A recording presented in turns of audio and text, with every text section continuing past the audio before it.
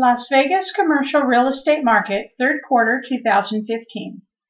It is safe to say that if you want to buy or rent industrial or retail space in greater Las Vegas or Class A or B office in more upscale areas, you will be facing higher asking prices at the end of 2016 than in the beginning, just like the past three years.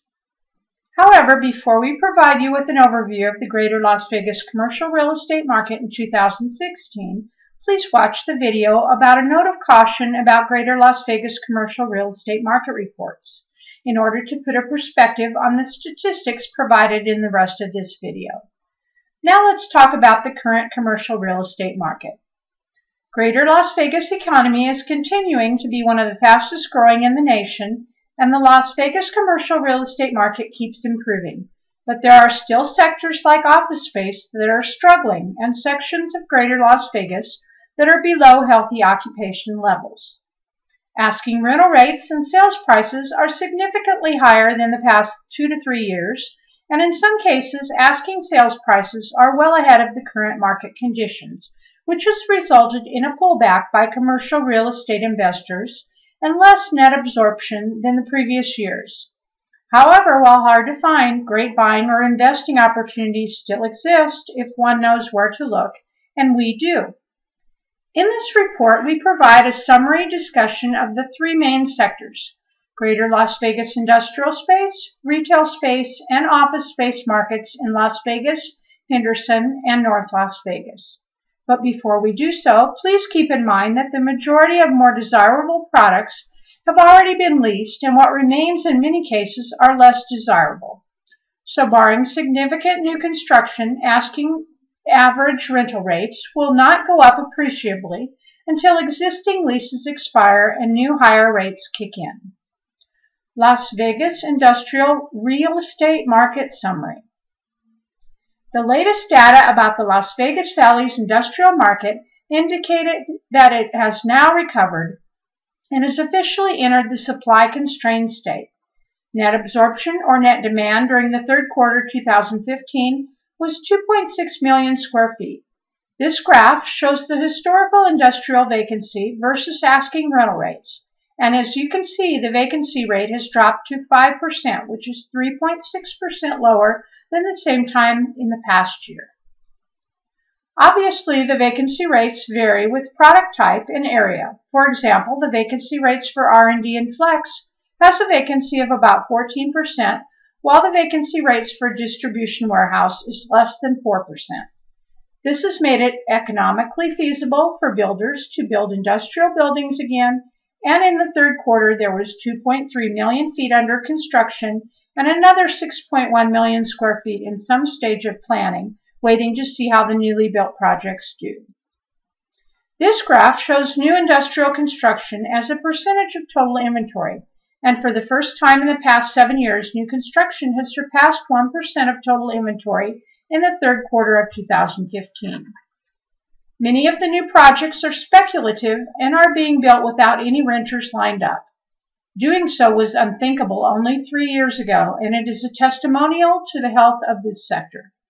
About 90% of new construction is in warehouse or distribution properties.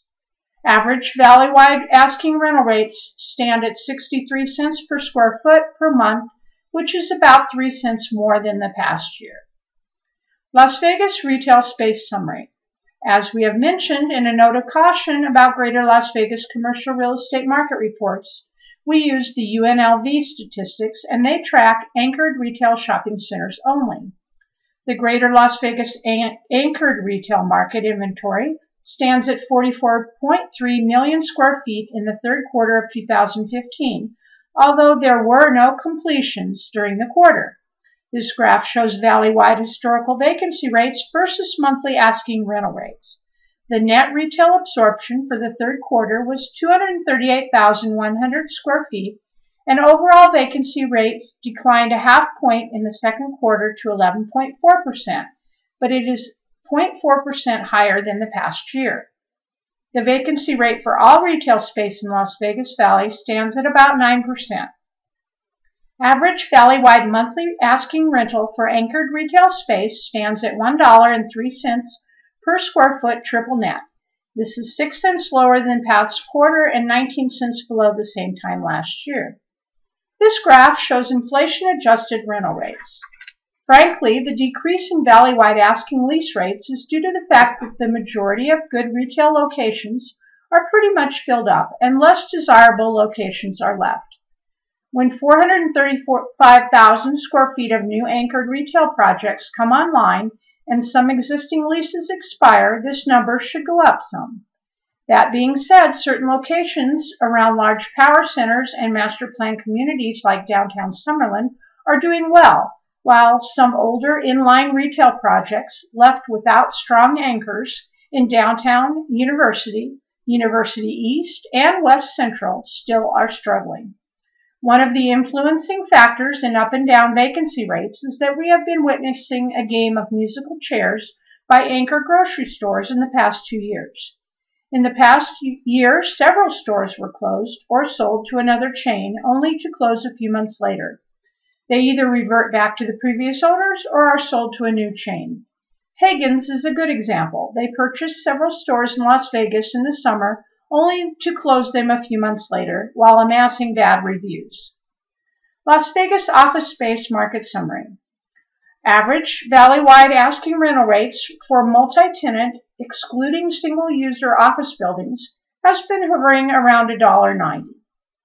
The vacancy rate for multi-tenant office space, which the Center for Real Estate Studies at UNLV tracks, has dropped by 0.3% from the past quarter to 21.3% at the end of the third quarter of 2015. This is due to 200,000 square feet of positive net absorption in the past quarter, which makes it the ninth quarter of positive net absorption. There were 218,000 square feet of speculative office space under construction, mostly in the Union Village project in Henderson, a suburb of Las Vegas, and another 420,000 square feet is in some stage of planning. Speculative means that no tenants are lined up and it is a new term which was introduced post-Great Recession, which in turn has changed what end users are looking for. Now they are looking to maximize useful square footage, and that usually means many smaller rooms and less open areas. This is the reason that Class C office space in the interior of town is now considered obsolete. The net absorption is very low with no rental rate growth and has a long way to go before recovery. However, office buildings along the 215 Beltway are faring much better with strong occupancy and rent growth. If you want to buy, lease, or sell greater Las Vegas commercial properties, each situation is unique and should be evaluated on its own merit. So please call us and we will be happy to help you find the right space at the right location. If you want to buy, sell, or invest in Las Vegas, Henderson, or North Las Vegas, industrial, retail, or office space in the immediate future, call us at 800-762-4917. Please like and share if you find this information useful and subscribe to our Las Vegas real estate channel for upcoming videos. On behalf of the Sauber team, this is Karen Saberzadeh of Realty One Group and www.lasvegas4us.com wishing you a great day.